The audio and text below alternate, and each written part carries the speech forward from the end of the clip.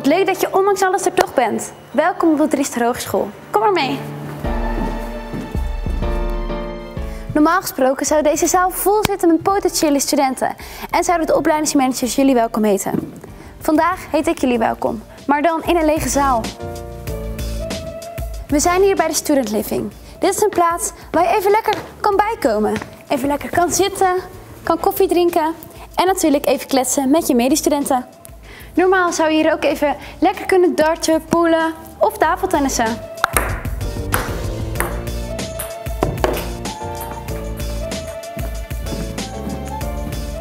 We zijn hier in de mediatheek. Hier kun je alles vinden wat je maar nodig hebt voor je les. Van boeken met lesmethodes naar verkleedkleren en spelletjes.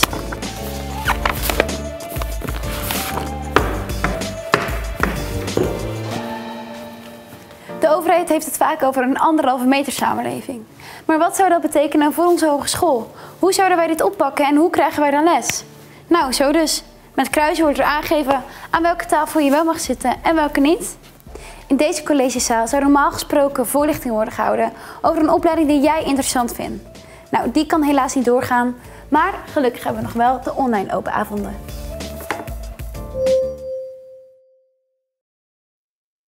Goedenavond en welkom bij de online livestream van onze opleidingen, van onze lerarenopleiding hier op de Driester Hogeschool.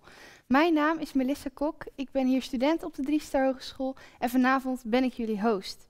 De komende drie kwartier proberen we jullie alles te vertellen over de lerarenopleidingen die wij hier op de hogeschool hebben.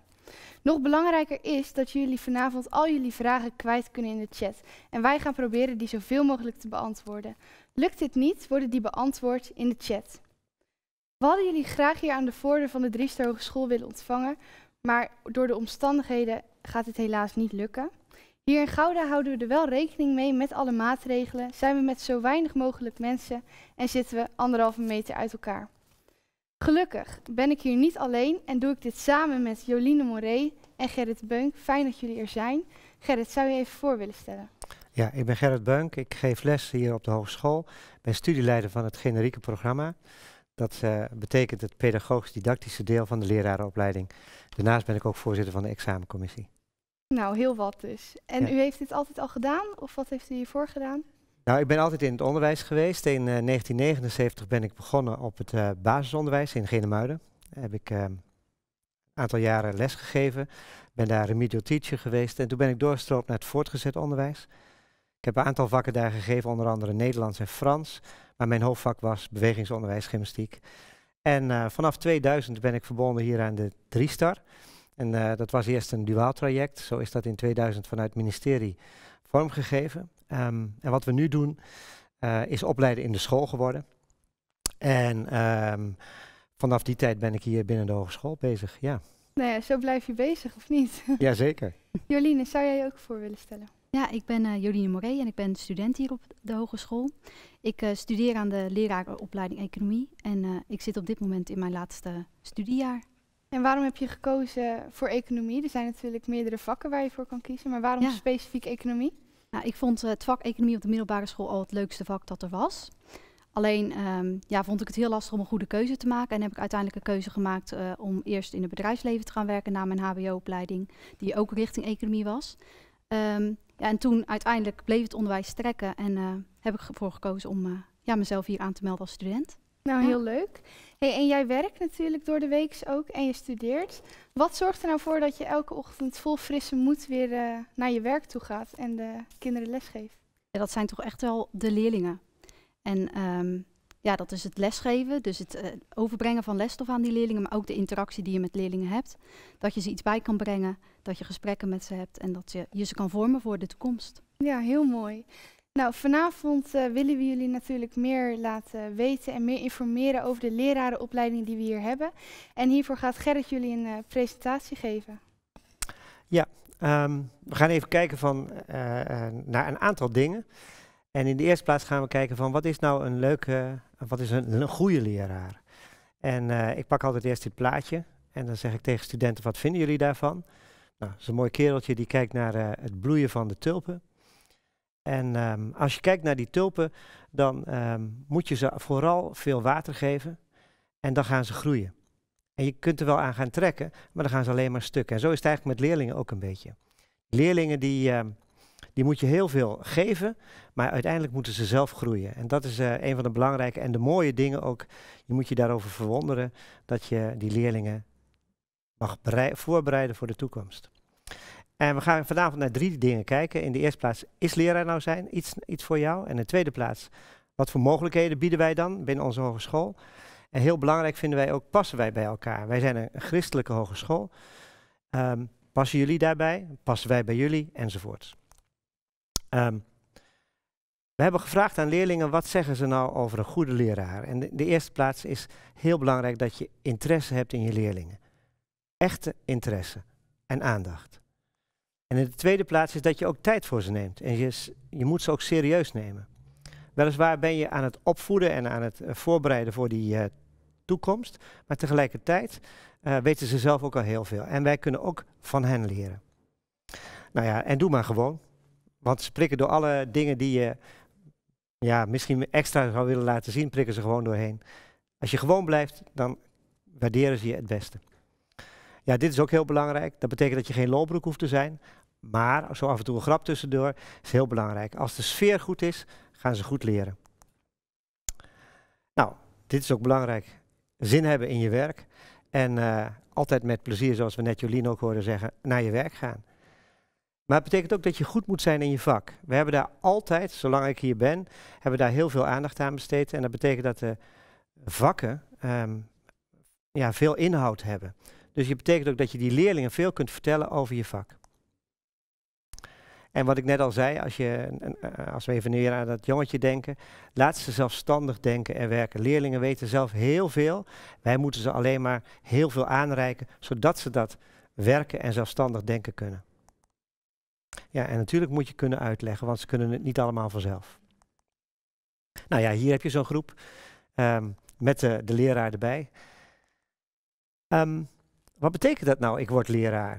Nou, dat betekent dat je hart moet hebben voor jongelui. Ik zeg altijd, hou van ze. Want uh, het zijn zulke mooie mensen. Maar je moet ook houden van het onderwijs, van de scholen, van de christelijke reformatorische scholen. En betekent ook dat je moet kunnen inleven in wie zijn ze nou en wat, um, wat, wat, wat, waar zijn ze nou mee bezig? Wat, wat houdt hen bezig? Je moet je in hen kunnen inleven. En uh, wat we ook heel belangrijk vinden is dat je kijkt op een kritische manier naar hoe krijg ik ze nou een stap verder. En soms moet je dat doen door een stuk onderzoek te doen. En dat betekent dat we de laatste jaren heel veel aandacht besteden aan het onderzoekend vermogen van de studenten. Nou, natuurlijk moet je flexibel zijn. Uh, we kunnen dat in deze tijd alleen maar uh, um, nog veel meer merken. We moeten ineens online toetsen, we moeten online lesgeven. Maar het is elke dag zo. Elke dag is anders en dat betekent dat je uh, s op school kunt komen en opeens is een klas er niet. Nou, wat ga je dan doen? Dat betekent dat je ook moet kunnen organiseren. Want op dat moment moet je opeens iets anders organiseren. Want je had ze het eerste uur, nu komen ze het vierde uur. Uh, heb je al een toets klaarstaan? Of, nou, er zijn heel veel dingen die je dan tegen kunt komen. En ik vraag ook altijd van, wil je een dag meelopen? Ga naar een school toe. Er zijn heel veel scholen die zeggen van, kom, want we willen graag goede leerkrachten. Er is nog steeds een tekort aan leraren in Nederland. Wil je een dagje meelopen? Ga dat doen en ga naar de school toe.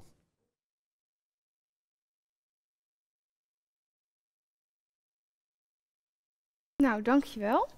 Um, jij hebt natuurlijk een switch gemaakt. Hè? Jij bent niet vanaf uh, de middelbare school gelijk uh, gaan leren voor leerkracht. Jij hebt eerst iets anders gedaan. Wat heeft jou er dan toe doen zetten om toch ja, voor leerkracht te gaan leren? Ja, dat is een uh, goede vraag. Um, nou ja, ik werkte in het bedrijfsleven en um, ik vond het daar best wel heel erg commercieel. En uh, zelf ben ik niet zo heel commercieel aangelegd als uh, ja, dat ik denk van dat wil ik heel mijn leven gaan doen. Plus ik werkte bij een organisatie waarbij als ik wat meer uitdaging nog wilde, verderop uh, in het land moest gaan werken. En um, ja, toen dacht ik, ja, wat wil ik dan echt gaan doen? En het onderwijs trok mij altijd al heel erg. Ik vind, vind het heel leuk om dingen over te brengen, om dingen ja, uit te leggen aan andere mensen. En um, ja, zodoende heb ik me aangemeld. En het was voor mij ook wel heel snel duidelijk al van ja, ga ik kiezen voor het uh, uh, basisonderwijs of voor het voortgezet onderwijs. Uh, ja, het voortgezet onderwijs vind ik echt een hele leuke leeftijdscategorie. En ik ben uiteindelijk ook terechtgekomen bij de afdeling Economie en Ondernemen. En dat zijn leerlingen die ja, echt al richting een beroep gaan werken en die ook al stage lopen. Dus ik heb ook nog steeds contacten met het bedrijfsleven. En juist die combinatie vind ik echt heel erg leuk. Ja, heel leuk. En wat maakt het nou voor jou zo leuk ehm, om nou echt les te geven aan die, ja, die wat oudere leerlingen?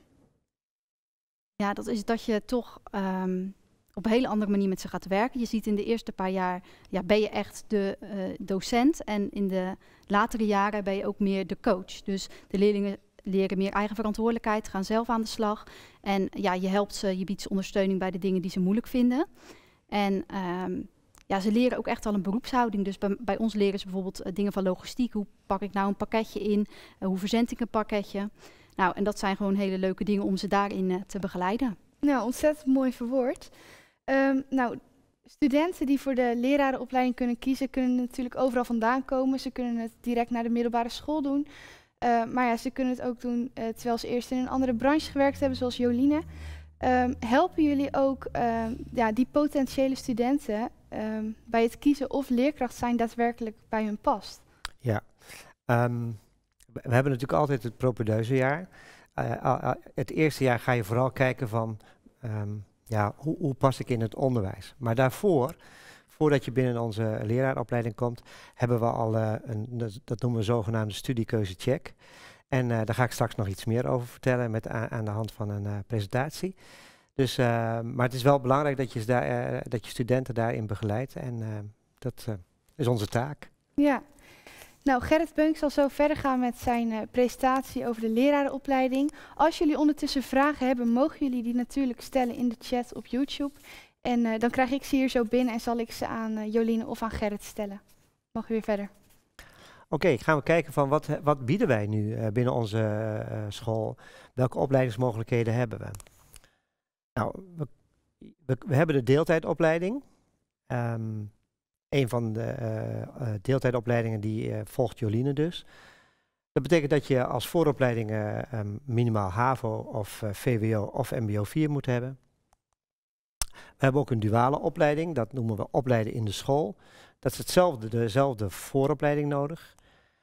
En we hebben ook zij-instromers. Dat betekent dat als je eerst in een vak goed bent geworden en je hebt bijvoorbeeld economie gestudeerd, en je hebt ergens in het bedrijfsleven gewerkt, dan kun je in twee jaar een bevoegdheid halen. Dat betekent wel dat je minimaal een HBO-opleiding moet hebben.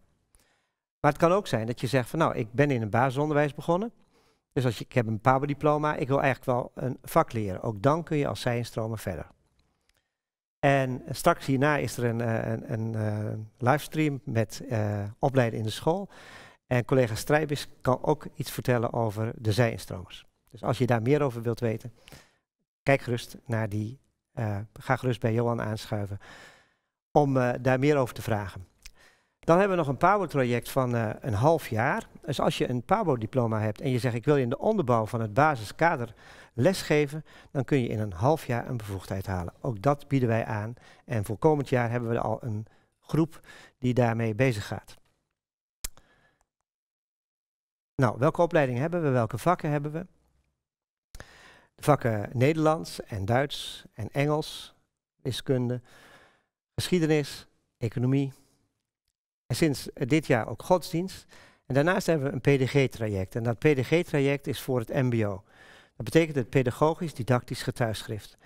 En uh, dan ben je dus al bevoegd voor het vak. En daarnaast krijg je dus ook een bevoegdheid om voor de klas te staan. En tenslotte hebben we wat ik net al noemde, het groepsleerkracht onderbouw basiskader. Maar we hebben meer opleidingen, alleen die hebben we niet zelf in huis. Met een andere hogeschool, de Hogeschool van Rotterdam, hebben we een aantal opleidingen en die gaan we ook vormgeven. En dat doen we vooral vanuit het generieke deel, vanuit het pedagogisch didactische deel en de identiteit vanuit onze hogeschool. En samen met de Hogeschool Rotterdam uh, kun je dan kiezen voor aardrijkskunde, biologie, natuurkunde, techniek of Frans. We hebben altijd twee uh, dagen dat we bezig zijn binnen onze hogeschool met de leraaropleiding voortgezet onderwijs. Dat is op de dinsdagavond en op de donderdagavond. De dinsdagavond het generieke deel en op de donderdagavond het vakdeel. En we zijn ook, um, hebben zeg maar vanuit thema's werken we en dat heeft heel erg te maken met onze identiteit. Um, de thema's relatie, gezag, leeromgeving, organisatie, ontwikkeling, uniciteit en verantwoordelijkheid, die doen we steeds samen met twee. Uh, een koppel van twee, bijvoorbeeld relatie en gezag, voegen we samen. Want we zeggen altijd, als je geen relatie met de leerlingen hebt, hoe wil je dan gezag hebben met die leer, uh, over die leerlingen? Nou, zo zijn alle thema's in tweetallen samengevoegd. En dat doen we vanuit essenties van christelijk leraarschap. We hebben daar ook een boekje van, uh, wat hier in samenwerking met het werkveld gemaakt is. En uh, aan de hand van dat boekje gaan we uh, iedere keer de onderwerpen verdiepen vanuit de identiteit. Straks gaan we verder met het volgende onderdeel. Dankjewel. Um, er zijn dus best wel veel onderwerpen die uh, behandeld worden en ook onderwerpen die overeenkomen met of je nou dus economie studeert of Engels. Um, kun jij misschien vertellen hoe dat nou inhoudelijk vorm wordt gegeven bij jou op de opleiding? Um, op dinsdagavond hebben we twaalf avonden in een jaar. Zijn verdeeld in blokken van drie. En um, ja, elke drie avonden hebben we het over uh, verschillende onderwerpen. Tijdens het dinsdagavonddeel hebben we het dus over pedagogisch-didactische onderwerpen. En daarbij moet je denken aan een stukje vorming. Je gaat kijken, ja, wat kunnen gedragsproblemen zijn bij jongeren, maar ook hoe ontwikkelen jongeren zich? Hoe geef je nou je klassenmanagement vorm? En ja, op die manier merk je dat je steeds steviger in je schoenen gaat staan, ook als uh, toekomstig docent. Of als docent als je al een baan hebt in het onderwijs. Ja, heel mooi. Nou, over banen gesproken. Um, ik heb een vraag van Marijke uh, gekregen, die stel ik even aan u. Moet je een baan hebben als je in deeltijd studeert? Um, nee, uh, iedereen is welkom. En um, als je voor de klas staat en je wilt nu de opleiding gaan doen, dan kan dat. Maar het kan ook zeggen van, uh, ik heb nog een baan ergens. Um, ik heb zelfs iemand die werkt bij Albert Heijn. En uh, die zegt, ik heb heel veel tijd over, dus ik wil daarnaast een opleiding doen. En uh, ook dat kan. Oké. Okay. Um, en hoe ervaar jij dan de balans tussen nou ja, werken en leren? Want jij werkt door de week dus wel op een middelbare school. Hoe ervaar je dat?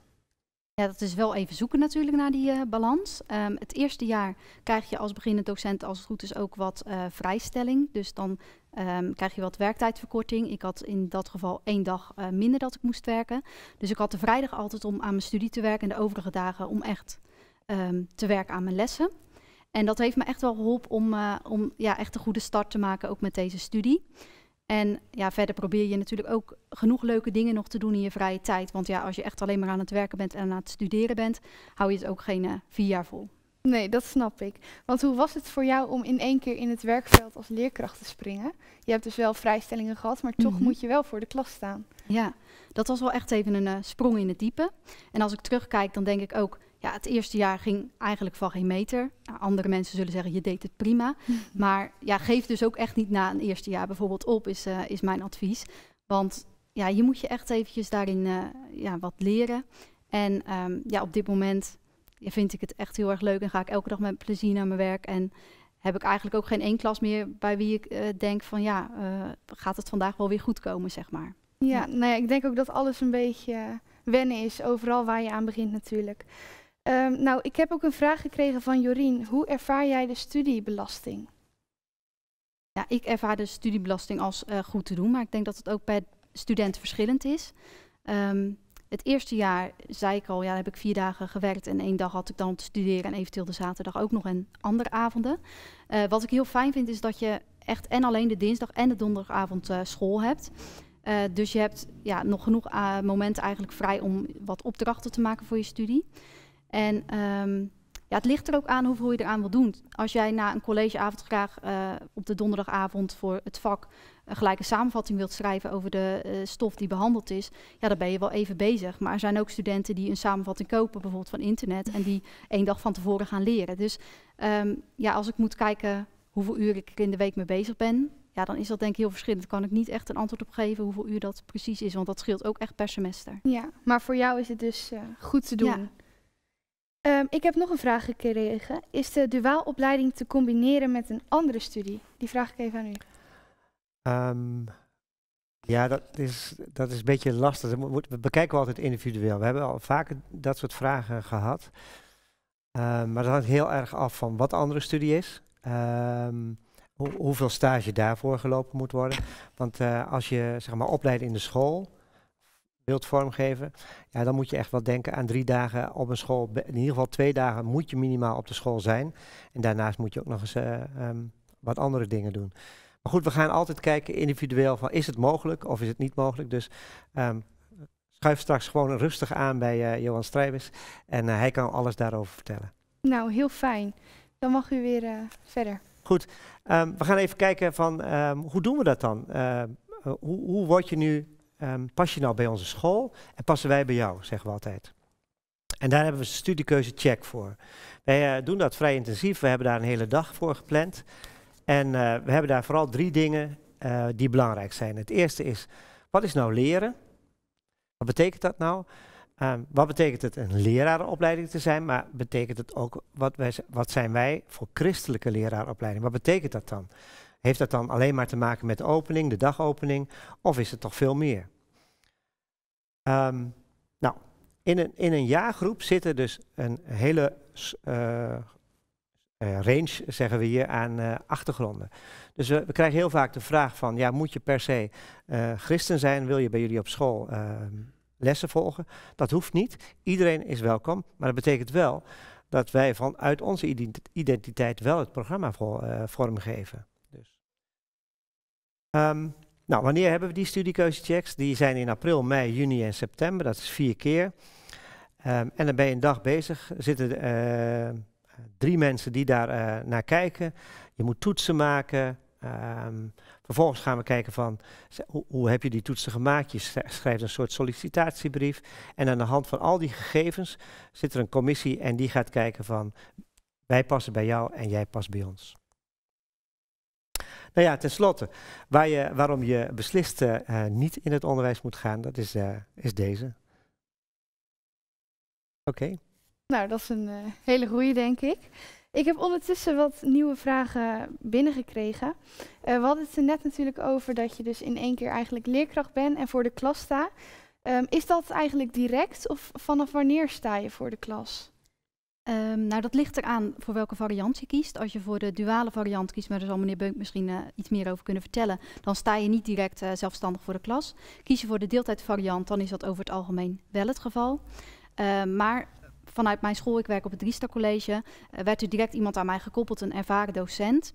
En die is het eerste jaar ook ongeveer tien keer bij mij in de les geweest, om mij te helpen om door middel van feedback te geven op wat wel goed gaat en wat niet goed gaat. Maar inderdaad, ja, vanaf dag één sta je gewoon zelf uh, voor een klas en ben je daar verantwoordelijk voor. Ja, maar gelukkig heb je dus nog wel iemand die met je meekijkt en uh, ja. waar je op terug kan vallen eventueel. Ja, nou heel fijn. En hoe werkt dat bij de andere routes? Um, ja, het is, is uh, vooral voor, van belang hoe de scholen dat inrichten. En we hebben met de reformatorische scholen hele goede afspraken daarover.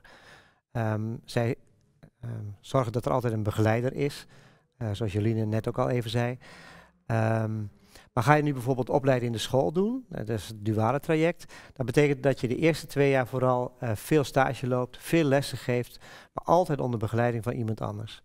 Na twee jaar mag je dan ook een stuk zelfstandigheid verwachten. Dus dat betekent dat je een assessment doet doen aan het, eind, aan het eind van jaar twee. En als, als je dat assessment behaald hebt, mag je al een tweetal of drietal lessen in jaar drie uh, drie klassen in jaar drie lesgeven. Dus een, een uur of 19. En dat breidt uit naar jaar vier. Nou, en als je dan bevoegd bent, kun je natuurlijk helemaal weer lesgeven. Ja. ja. Heel fijn. Dus je hebt eigenlijk nou ja, allerlei verschillende manieren ja, om dus voor de klas te gaan staan uiteindelijk. En nou ja, dat is natuurlijk ook aan jullie om te kijken wat nou het beste bij je past. En eventueel kun je straks dus ook in de deelsessies bij uh, Johan of bij Gerrit eventjes naar binnen lopen. Um, ik heb nog een vraag gekregen. Um, heb jij uh, vergeleken tussen verschillende hogescholen? En waarom koos je uiteindelijk dan toch voor de Driester Hogeschool? Um, ja, dat uh, was onder andere inderdaad een, ook een onderbuikgevoel, want ik heb inderdaad vergeleken. De Hogeschool Rotterdam uh, bood op dat moment een kopopleiding aan. En daarin beloven ze dat je in één jaar helemaal klaargestoomd wordt als docent economie. Maar ja, er zaten ook weer wat haken en ogen aan en de communicatie met hun verliep niet zo heel erg snel. Terwijl toen ik contact opnam met het Driesta e Educatief, toen um, nam direct de studieleider economie contact met mij op. En die heeft mij gelijk verteld van ja, voor dit en dit vak kan je vrijstellingen krijgen. En we denken dat je er zo lang over gaat doen. En ja, die schatting die zij hebben gemaakt, eh, die klopt ook aardig. Dus eh, ja, daar ben ik heel blij mee. Nou, goed ingeschat in ieder geval. En hoe zie jij ehm, de christelijke identiteit bijvoorbeeld terugkomen in je lessen? Gerrit heeft het net in zijn presentatie al genoemd. Maar hoe is de praktijkervaring daarbij? In mijn les op school als docent bedoel je? Ja, en hier uh, op de Driester Hogeschool, allebei? Um, ja, op Driester Hogeschool zie ik daar vooral heel veel van terug op de dinsdagavonden. Uh, we beginnen vaak met een uh, ruime dagopening en in jaar twee was er ook een docent die graag wilde dat wij om de beurt zelf een dagopening zouden verzorgen. Dus gewoon om te kijken van ja, hoe, op wat voor verschillende manieren doen studenten dat ook en om daar van elkaar ook wat van te leren. Uh, daarnaast komen er natuurlijk ook onderwerpen aan bod die heel direct een raakvlak hebben met de identiteit. En um, ja, in mijn eigen werk natuurlijk heb ik elke dag de dagopening. Dus ja, dan probeer je toch ook de leerling iets mee te geven vanuit de Bijbel. Ja, heel mooi. Um, nou, ik heb um, gehoord van mensen die bijvoorbeeld een HBO-studie al afgerond hebben. stel dat is een, een HBO-studie wat best wel met economie te maken hebben. En uh, diegene heeft toch besloten van nou, ik ga overspringen naar leerkracht en ik volg hier de LVO-economie. Krijgt diegene dan ook vrijstellingen? Ja, er zijn een aantal mogelijkheden. Je kunt zeggen van uh, we werken met vrijstellingen. Um, op het moment dat je een baan hebt in het onderwijs, dan kun je ook een zijinstroomtraject aanvragen. Dat betekent dat je subsidie krijgt vanuit het ministerie. En dat betekent dat je in twee jaar een bevoegdheid haalt. Want je hebt al een HBO-bevoegdheid, dus je hoeft geen bachelor meer te halen, maar wel een onderwijsbevoegdheid. En dat noemen we het zijinstroomtraject. Oké, okay, en dat maakt dan niet uit of je HBO-studie die je al afgerond hebt, uh, naar aansluiting heeft op het ja, vak? Je moet wel aansluiting hebben bij het vak. Uh, dus als je economie gestudeerd hebt, dan kun je docent economie worden. Uh, heb je Nederlands gestudeerd, dan kun je docent Nederlands worden. Nou ja, soms zijn er uh, wat lastige dingen. We hebben ook wel iemand gehad die had werktuigbouwkunde op de universiteit gedaan. Kan die dan overstappen op wiskunde? Nou, dan gaan we kijken of we daar binnen twee jaar een docent van uh, een, een, programma voor het docentschap op kunnen zetten. maar soms um, ja, blijkt dat dat niet mogelijk is, ja, dan, dan lukt het niet. Dan zeggen we van, je kunt wel komen en dan krijg je een aantal vrijstellingen. En dan kun je het bijvoorbeeld niet in twee jaar, maar in drie jaar doen. Nou, Ja, dat is wat. Joline nu ook gedaan heeft. eh, Ja. In drie jaar in plaats van in vier jaar. Dus je kunt wel versnellen. En eh, we proberen de, zeg, de flexibilisering, zoals we dat noemen in het hoger onderwijs. nou, dat proberen we hier echt vorm te geven. Ja, precies. Nou, u noemde net al wiskunde. Ik heb een vraag gekregen van Karel. Ehm, heeft nou wiskunde A of B, dus wat je op het voortgezet onderwijs gedaan hebt, waar je examen in gedaan hebt, heeft dat nog invloed op je studie? Ehm, ja, want als je wiskunde B hebt, dan, eh, ja, da- dat is eigenlijk wel een vereiste, want eh, je, het, het, wiskunde is op een hoog niveau bij alle eh lerarenopleidingen, want eh, we hebben ook altijd landelijk overleg over dit soort zaken. Ehm, maar als je over wiskunde meer wilt weten, eh, sluit zo meteen aan en mevrouw van der Kolk, Trudy van der Kolk, zal je daar alles over kunnen vertellen. Nou, heel mooi. Ehm, de laatste vraag eventjes, en dan gaan we zo meteen natuurlijk gewoon weer verder. Ehm, iemand heeft bij de LOE eh, zijn of haar propeduizen gehaald voor de lerarenopleiding Engels. Ehm, heeft diegene hier iets aan als die hier komt en bijvoorbeeld de Engels ehm, studie gaat volgen? Ja, meestal eh, eh, nemen we de propenduizen over, maar we kijken altijd wel van passen de vakken die in de propenduizen behaald zijn daar, passen die binnen onze propenduizen. En als dat niet zo is, gaan we kijken of we de punten ergens anders vrij weg kunnen zetten, zodat er vrijstellingen gegeven kunnen worden. Ehm, maar in principe nemen we, eh, als het een erkende opleiding is, nemen wij de propenduizen over. Oké, heel fijn. Nou, ik merk in ieder geval, of ik hoor in ieder geval heel veel terug van jullie beiden, dat er best wel eh, veel persoonlijk naar je gekeken wordt als je hier aan de studie begint, om, om toch zo goed en zoveel mogelijk bij elkaar aan te sluiten. Eh, nou, normaal gesproken hebben we hier natuurlijk eh, nou ja, echte open dagen, om maar zo te zeggen. En bent u hier van harte welkom op de hogeschool. En wordt hier alles eh, laten zien wat we maar kunnen laten zien. Nou, helaas kan het nu niet op de gebruikelijke manier. Ehm, u had dan normaal gesproken ook de gelegenheid om nog meer mensen echt te spreken.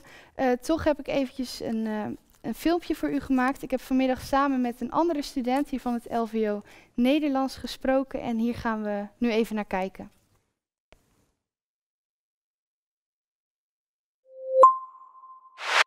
Hey, Hey Melissa, hey.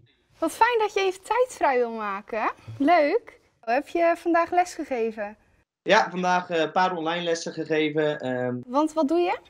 Ehm, ik geef eh, Nederlands op het uh, Driesta College op voortgezet onderwijs ehm, aan eh, ja, de onderbouw, dus AVO 1, 2 en 3.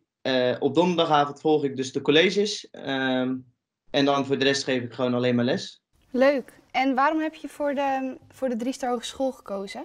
Ja, goede vraag. Ik heb eerst PABO natuurlijk gedaan op Driesta Educatief. nou, daar heb ik eigenlijk al hele goede ervaringen gehad. het is ook heel gezellig met elkaar, want ja, je ontmoet heel veel andere uh, ja, studenten die tegelijkertijd ook lesgeven. Dus je zit ook een beetje in dezelfde fase. Je bent aan het lesgeven en tegelijkertijd uh, krijg je ook nog onderwijs. Dus uh, dat maakt die combinatie maakt het wel heel erg leuk. Dus je bent zelf ook nog aan het, ja, aan het leren. En um, kijk, je bent dan dus door de week, geef je zelf les en dan ga je op donderdagavond naar school. Hoe bevalt die combinatie dan? ja, die combinatie is alleen maar makkelijker wanneer je ook les geeft. Want hetgeen wat je leert kan je ook gelijk toepassen in de praktijk. Hey, je hebt dus gekozen voor de lerarenopleiding Nederlands. Wat trekt jou zo aan Nederlands? Ja, Nederlands is, uh, ja, het vak zelf is altijd nog in ontwikkeling. Als je kijkt naar uh, eh, 30 jaar geleden, was er echt, uh, de spellingsregels zijn nog steeds in ontwikkeling. Ehm, er komen weer nieuwe woorden bij in het woordenboek. Ehm, het is elke keer weer anders. En daarom vind ik het heel leuk om de leerlingen ook wel erbij te betrekken. Want het is ook vaak een vak wat, wat kinderen eigenlijk niet zo leuk vinden. En dan vind ik het juist wel heel uitdagend om het juist heel interessant voor hen te maken. Maar wat vind jij dan aan die leeftijd van hun zo, zo leuk, dat dat jou dus meer trekt? Ja, eh, de leerlingen zijn in eerste instantie helemaal niet geïnteresseerd in de vakken. Ze komen naar school en ze vinden het heel leuk om met elkaar om te gaan. Maar uh, wanneer jij je lessen interessant maakt, vinden zij het ook heel leuk. En dat kan je ook wel heel snel zien. En het leuke is dat zij zich dan ook steeds meer openstellen voor, um, ja, voor de gesprekjes, maar ook voor uh, persoonlijke dingen te vertellen. Dus je hebt iets meer een band met, met leerlingen. Wat voor nieuws leer je dan nu in de avondopleiding? de docenten hebben gewoon heel veel kennis over die vakken. En, en die verhalen zijn toen een keer opgeschreven. En uiteindelijk komen wij met deze verhalen die we ja, nu nog steeds kennen. En dat wordt doorgegeven, doorgegeven en opgeschreven. En uh, ja, dat is heel mooi hoe, hoe die leraren dat allemaal vertellen. Hey, goed. Ik wil je heel erg bedanken voor de tijd. Um, ik wens je heel veel succes toe met je avondopleiding en met je werk. En uh, nou ja, wie weet tot snel. Ja, dankjewel. Het was even leuk om je weer gesproken te hebben. Ja, ja. zeker. Hey, tot ziens. Doei doeg. Doei. Goed, dat was uh, Guido Bakker die hier ook op de LVO studeert. Hij studeert dus uh, voor Nederlands. Heel toevallig werken jullie uh, nou ja, op dezelfde school. Ja. Um, herken je hier een beetje in? Jazeker, ook dat hij zegt van Nederlands is vaak niet het fa meest favoriete vak. Datzelfde geldt ook voor economie. Um, en ja, dan is er toch de uitdaging om ja, het vak zo dicht mogelijk bij de leerlingen te brengen. En voor economie is dat ook echt, ja, kijk om je heen heel deze crisis waar we ons nu in bevinden, heeft een heel groot economisch aspect. En dat is heel leuk om dat op ja, een laagdrempelig niveau aan de leerlingen ook uh, ja, mee te geven. Ja, heel leuk. Ja. Uh, nou, ik heb nog even zelf een vraag, want daar ben ik zelf eigenlijk best wel benieuwd naar. Hoe ziet nou een week voor jou eruit? Veel werk als studie. Ja, nou ja, ik werk uh, vijf dagen in de week, dus ik uh, ga iedere dag uh, naar school. Ik vind het eigenlijk heel lastig om dat op dit moment even helemaal terug te halen. Want ja, ik geef al weken vanuit huisles op dit moment. maar normaal gesproken ga ik elke ochtend naar school. Ik woon dicht bij school, dus ik ga op mijn fiets. En um, ja, de lessen zijn vaak tot een uur of half vier. Soms ook niet. Dus ja, je hebt eigenlijk ook de vrijheid om na je lessen af en toe ook gewoon weer naar huis te gaan als er geen vergaderingen zijn en thuis verder voor te bereiden. Maar over het algemeen zit ik vaak wel tot een uur of vier, half vijf op school. En um, ja, daarna waren mijn avonden eigenlijk uh, altijd uh, gevuld met of gewoon leuk afspreken met vrienden. En anders ja, toch aan de studie. En um, ja, het weekend probeerde ik wel zoveel mogelijk vrij te houden van studie. Om dan toch gewoon eventjes ja, een brekende week te hebben waarin je niet aan werk en aan studie hoeft te denken. Ja, nou ja, groot gelijk. Ja, en nu is alles natuurlijk echt wel een beetje anders. Heeft dit ook invloed op de aanmeldprocedure? Um, ja, ik weet niet of het invloed heeft op de aanmeldprocedure, maar ik weet wel dat in uh, heel Nederland um, ja, studenten ook een beetje aan het uitstellen zijn en pas laat uh, aanmelden bij, uh, bij hogescholen. Um, daar proberen we natuurlijk op in te springen. En um, we, we, je mag in ieder geval nog aanmelden tot en met 1 september. En, en als het daarna nog nodig is, kan iedereen ook nog aanmelden. Maar dan gaan we kijken of, of we nog een plek hebben. Ja, precies. Nou, we zijn inmiddels eh, bijna aan het einde gekomen van deze livestream. Eh, we gaan natuurlijk nog even door. Heb je nog vragen waar je graag een antwoord op eh, wilt hebben of waar je gewoon benieuwd bent of nieuwsgierig misschien naar de ervaringen van Joline? Stel ze gerust in de chat op YouTube en dan beantwoorden we ze hier graag voor je. Jij zit nu in je laatste jaar, als ik het goed heb, hè? Ja, dat klopt. Ja, dus jij bent nu ook bezig met afstuderen. Um, ja, wat bedoel je precies met afstuderen? Ja, alles wat eronder valt okay, ja. Nou ja, ik was altijd bij een hbo-opleiding eh, gewend dat je een scriptie moest schrijven. Ja. Ehm, als jij kiest voor uh, de LVO-opleiding, uh, dan hoef je niet per se een scriptie te schrijven. voor het pedagogisch didactische programma wat je op dinsdag dus hebt, kan je een keuze maken in jaar 4 om te kiezen voor de onderzoekslijn of de onderwijslijn. En bij de onderzoekslijn ga je echt een groot onderzoek uitvoeren. En bij de onderwijslijn, ja, dan ga je juist meer verdiepen in verschillende onderwerp en daar kortere opdrachten bij maken. Ja, ik heb voor dat tweede gekozen, dus ik hoef nu geen scriptie te schrijven. Ik moest als laatste nog een portfolio maken en die is toevallig vandaag ingeleverd. Dus alles wat ik kon inleveren en moest inleveren voor mijn studie is nu uh, ja, ingeleverd. Nou, heel fijn. Dan gaat het goed in ieder geval. Ik heb nog een uh, vraag gekregen van Elise. Ik heb mijn tweede tussenjaar en wil graag een LVO-opleiding volgen. Wat is aan te raden in mijn geval? Duaal of deeltijd? Of is dit echt per persoon verschillend? Ja, dat is echt wel per persoon verschillend. Daar gaan we ook wel naar kijken. Ehm, wat past het beste bij je? Kijk, op het moment dat je uh, um, een uh, opleiding in de school begint, betekent dat uh, dat je eigenlijk de hele week bezig bent met je opleiding. Want het is een fulltime opleiding. En een deeltijdopleiding uh, ja, is maar twee dagen per week. En kun je zelf de rest van de week indelen. Dus uh, daar moet je wel naar kijken. Past dat binnen je, uh, nou ja, binnen je tussenjaar? Als je maar één tussenjaar neemt, dan wordt het misschien wel wat lastig. En kun je beter deeltijd doen. tegelijkertijd, je moet die mogelijkheid met elkaar verkennen. Ja. ja. Nou, ik zou in ieder geval aan Elise aanraden om zometeen zeker gebruik te maken van de deelsessie met Gerrit eventueel. Um, dan ga ik door naar de volgende vraag. Ik heb namelijk een vraag gekregen van Albert. Um, hij vraagt, geven jullie ook les via afstandsonderwijs? Want ik woon op Curaçao en ik geef nu al godsdienst, maar heb ook interesse om daadwerkelijk die LVO-godsdienst te volgen. Ja, dat, op dit moment doen we dat nog niet. Um, maar we zijn natuurlijk uh, de laatste maanden uh, heel erg bezig met digitaal onderwijs. Uh, dus de, de mogelijkheden gaan we in ieder geval verkennen. Maar op dit moment geven we, hebben we geen mensen, studenten in het buitenland zitten die bij ons de opleiding volgen.